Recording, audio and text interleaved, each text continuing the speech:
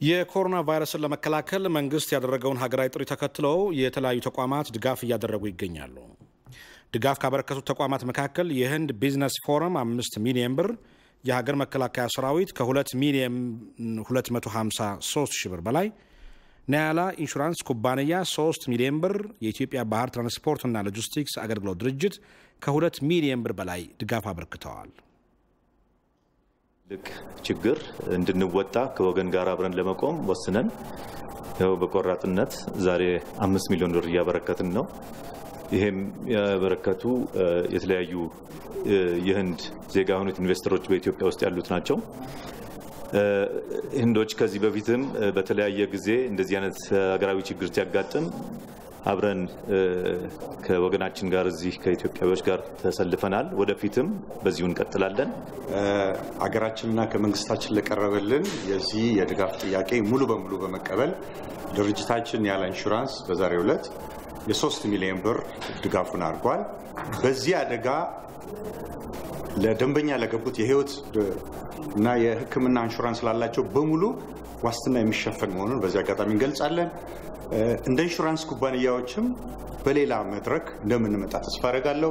የምስራቅ እዝ የሰራዊት አመራርና አባላት ከወር ደመወዛችን ላይ ወረርሽኙን ለመከላከል ለሚደረገው ሀገራዊ ርብርብ የበኩላችንን ድርሻ አበርክተናል። ፊድሪ የመከላከያ ሰራዊት የምስራቅ እዝ በሰማራበት ምስራቃዊ ክፍል እስከ ሶማሌ ድረስ ሸፍኖ በአንድ በኩል አክራሪና አሸባሪ ኃይሎችን እንዲሁም ከኮንትሮባንዲስቶች ጋር አንገት ለአንገት እየተናነቀ በሌላ በኩል ደግሞ የሀገር ውስጥ አልፎ አልፎ የሚያጋጥሙ የጸጥታ ችግሮችን ከህብረተሰቡና ከቀጣናው ከሚገኙ ከሁሉም የጸጥታ ኃይሎች ጋር በመጣመር ችግሮችን እየፈታ በአንድ ጊዜ ሁለትና ከዚያ በላይ ግዳጆች ግዳጅ በሳካ ሁኔታ እየፈጸመ ቀጣናውን ሰላም እና ደህንነት ማረጋገጥ የቻለ እዝ ነው።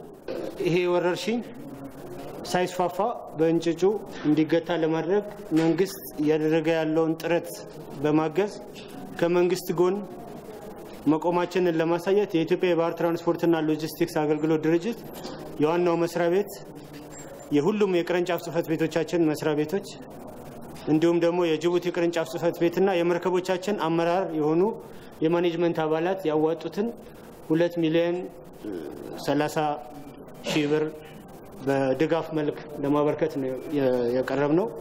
ከዚሁ ጎን ለጎን የሰራተኛ ማህበራችንን በተመሳሳይ 100 ሺህ ብር ድጋፍ አድርጓል። እንደ ሪፖርተራችን መለስ አምዴ ዘገባ የተደረገውን ሀገራዊ ጥሪ ተከትሎ የገንዘብና የተለያዩ ቁሳቁስ ድጋፎች ሲደረጉ መሆኑን የገለጹት የብሔራዊ ድጋፍ አሰባሳቢ ኮሚቴ ሰብሳቢው አምባሳደር ምስጋኑ አረጋ ተቋማቱ በጥሬ ገንዘብ ከ15 ሚሊዮን ብር በላይ ማበርከታቸውን ተናግረዋል።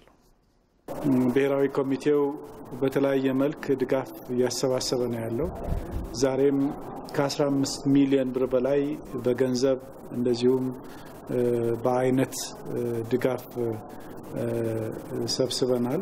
የምስራቅ እዝ ወታደሮች እጅግ አድርገን እናመሰግናለን። ጡረተኞችም ከሚያገኙት ደሞዛቸው ቀንሰው የ India business community ወይም chamber ማህበርን እናመሰግናለን ላደረጉት ድንቅ ድጋፍ። በብሔራዊ ኮሚቴው ስም ላቅ ያለ ምስጋና እናቀርባለን።